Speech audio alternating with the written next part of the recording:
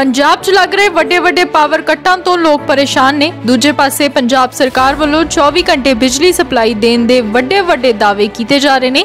ਉੱਥੇ ਹੀ ਪੰਜਾਬ 'ਚ ਨਿਰਵਿਘਨ ਬਿਜਲੀ ਸਪਲਾਈ ਦੇਣ ਦੇ ਦਾਅਵੇ ਠੁੱਸ ਹੁੰਦੇ ਵਿਖਾਈ ਦੇ ਰਹੇ ਨੇ। ਤਾਜ਼ਾ ਮਾਮਲਾ ਸਾਹਮਣੇ ਆਇਆ। ਬਠਿੰਡਾ ਜ਼ਿਲ੍ਹੇ ਦੇ ਸ਼ਹਿਰ ਰਾਮਪੁਰਾ ਫੂਲ ਦੇ ਵਿੱਚ, ਜਿੱਥੇ ਬੀਤੀ ਦੇਰ ਰਾਤ 5.5 ਘੰਟੇ ਦੇ ਲਗਾਤਾਰ ਲਗਾਏ ਕੱਟ ਨੇ ਲੋਕਾਂ ਦੇ ਨੱਕ ਦੇ ਵਿੱਚ ਦਮ ਲਿਆ ਦਿੱਤਾ।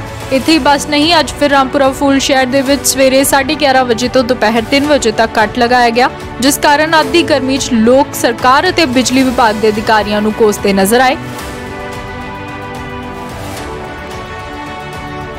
ਉੱਥੇ ਹੀ ਨਾਭਾ 'ਚ ਵੀ ਕਿਸਾਨਾਂ ਵੱਲੋਂ ਬਿਜਲੀ ਦਫ਼ਤਰ ਦਾ ਘਿਰਾਓ ਕੀਤਾ ਗਿਆ। ਕਿਸਾਨਾਂ ਦਾ ਕਹਿਣਾ ਹੈ ਕਿ ਸਰਕਾਰ ਵੱਲੋਂ ਕਿਸਾਨਾਂ ਨੂੰ 8 ਘੰਟੇ ਨਿਰਵਿਘਨ ਬਿਜਲੀ ਸਪਲਾਈ ਦੇਣ ਦੇ ਵਾਅਦੇ ਤਾਂ ਜ਼ਰੂਰ ਕੀਤੇ ਗਏ, ਪਰੰਤੂ 8 ਘੰਟੇ ਸਪਲਾਈ ਸਿਰਫ ਕਾਗਜ਼ਾਂ ਦੇ ਵਿੱਚ ਹੀ ਦਿੱਤੀ ਗਈ ਹੈ। ਉਹਨਾਂ ਸਰਕਾਰ ਅਤੇ ਬਿਜਲੀ ਵਿਭਾਗ ਦੇ ਅਧਿਕਾਰੀਆਂ ਨੂੰ ਚੇਤਾਵਨੀ ਦਿੰਦਿਆਂ ਕਿਹਾ ਕਿ ਜੇਕਰ ਪੰਜਾਬ ਦੀ ਕਾਂਗਰਸ ਸਰਕਾਰ ਦੇ ਵੱਲੋਂ ਬਿਜਲੀ ਸਪਲਾਈ 'ਚ ਸੁਧਾਰ ਨਾ ਕੀਤਾ ਗਿਆ, ਤਾਂ ਸਰਕਾਰ ਅਤੇ ਬਿਜਲੀ ਵਿਭਾਗ ਦੇ ਅਧਿਕਾਰੀਆਂ ਦਾ ਵੱਡੀ ਪੱਧਰ ਤੇ ਘਿਰਾਓ ਕੀਤਾ ਜਾਵੇਗਾ।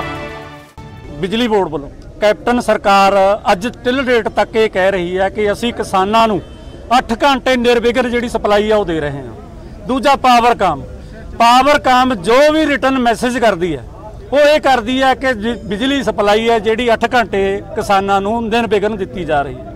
ਜੋ ਕਿ ਹਾਲਾਤ ਉਹ ਇਦੋਂ ਉਲਟ ਨੇ। ਦੋ ਦਿਨਾਂ ਤੋਂ ਲਗਾਤਾਰ ਸਿਰਫ 5 ਘੰਟੇ ਬਿਜਲੀ ਦਿੱਤੀ ਜਾਂਦੀ ਹੈ, ਕਈ ਫੀਡਰਾਂ ਤੇ ਤਾਂ ਚੱਲਦੀ ਉਹ ਨਹੀਂ।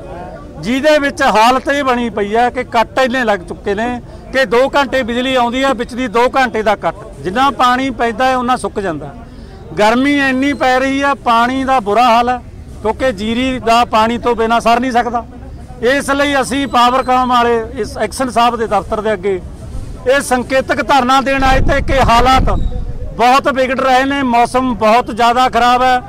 ਫਸਲ ਨੂੰ ਬਚਾਉਣਾ ਬਹੁਤ ਮੁਸ਼ਕਲ ਹੋਇਆ ਪਿਆ ਕਿਉਂਕਿ ਮੋਦੀ ਸਰਕਾਰ ਨੇ ਸਾਡਾ ਡੀਜ਼ਲ, ਜਿਹੜਾ ਕਿ ਪੰਜਾਬ ਦੇ ਵਿੱਚ ਸਭ ਤੋਂ ਵੱਧ ਖਪਤ ਖੇਤੀਬਾੜੀ ਤੇ ਹੋ ਰਹੀ ਹੈ।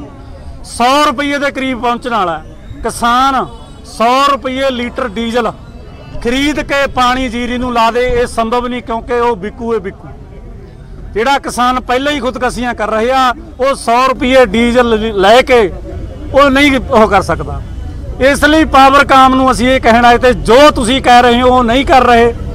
ਅੱਜ ਤੋਂ ਬਾਅਦ ਜਿਹੜੀ ਸਪਲਾਈ ਆ ਉਹ 8 ਘੰਟੇ ਦਿਓ, ਜਿੱਥੇ ਕਿਤੇ ਕੋਈ ਵਿਘਨ ਪਿਆ। ਉਹ ਕੱਟ ਦੂਜੇ ਦਿਨ ਜਾਂ ਤੀਜੇ ਦਿਨ ਉਹ ਸਪਲਾਈ ਆ ਜਿਹੜੀ ਸਾਡੀ ਪੂਰੀ 8 ਘੰਟੇ ਸਾਨੂੰ ਦਿਓ। ਕਿਸਾਨਾਂ ਵੱਲੋਂ ਜੋੜ ਅੱਜ ਧਰਨਾ ਲਗਾਇਆ ਗਿਆ, ਉਹਦੇ ਵਿੱਚ ਰੋਸ ਪ੍ਰਦਰਸ਼ਨ ਕੀਤਾ ਗਿਆ ਕਿ ਜੇ ਪਾਵਰ ਕੰਟਰੋਲਰ ਆਫੀਸਰ ਵੱਲੋਂ ਕੱਟ ਲਗਾਏ ਜਾਂਦੇ ਹਨ, ਉਹਨਾਂ ਨੂੰ ਤੁਰੰਤ ਖਤਮ ਕੀਤਾ ਜਾਵੇ, ਕਿਉਂਕਿ 8 ਘੰਟੇ ਦੀ ਬਿਜਾਈ ਬਿਜਲੀ ਤਕਰੀਬਨ 6 ਜਾਂ 7 ਘੰਟੇ ਆ ਰਹੀ ਹੈ। ਉਹਨਾਂ ਦੀ ਡਿਮਾਂਡ ਇਹ ਸੀ ਕਿ ਸਾਨੂੰ ਜੇ 8 ਘੰਟੇ ਗਵਰਨਮੈਂਟ ਵੱਲੋਂ ਕੀਤੇ ਤਾਂ 8 ਘੰਟੇ ਦਿੱਤੀ ਜਾਵੇ।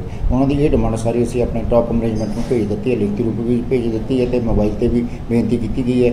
ਉਹਨਾਂ ਵੱਲੋਂ ਵਿਸ਼ਵਾਸ ਦਿਵਾਇਆ ਗਿਆ ਵੀ ਇਹ ਜਿਹੜਾ ਪਾਵਰ ਕੱਟ ਦਾ ਮਸਲਾ ਅਸੀਂ ਉੱਤੇ ਟਾਪ ਮੈਨੇਜਮੈਂਟ ਨਾਲ ਕਰਕੇ ਕੋਈ ਨਾ ਕੋਈ ਹੱਲ ਕਰਦੇ ਉੱਥੇ ਗੁਰਦਾਸਪੁਰ ਜ਼ਿਲ੍ਹੇ ਸਮੇਤ ਹੋਰ ਇਲਾਕਿਆਂ ਅੰਦਰ ਇੱਕ ਪਾਸੇ 42 ਡਿਗਰੀ ਤੱਕ ਪਹੁੰਚੇ ਪਾਰੇ ਨੇ ਲੋਕਾਂ ਦੀ ਤੌਬਾ ਕਰਾ ਦਿੱਤੀ ਹੈ।